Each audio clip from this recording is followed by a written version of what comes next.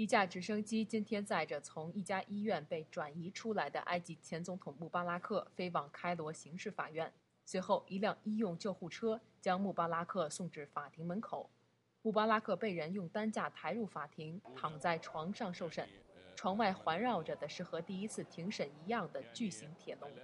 他的两个儿子阿拉亚和贾尔玛也站在铁笼内。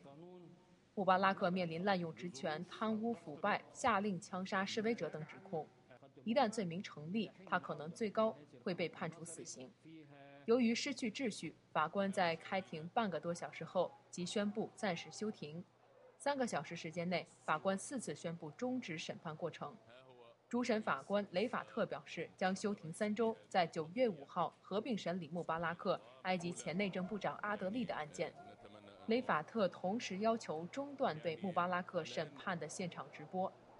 九月五号的庭审将以闭门方式进行，不对媒体开放。法律专家认为，目前还有数以千计可能被列为证据的文件等待原告律师们去整理参考，因此对穆巴拉克的审理可能持续数个月的时间。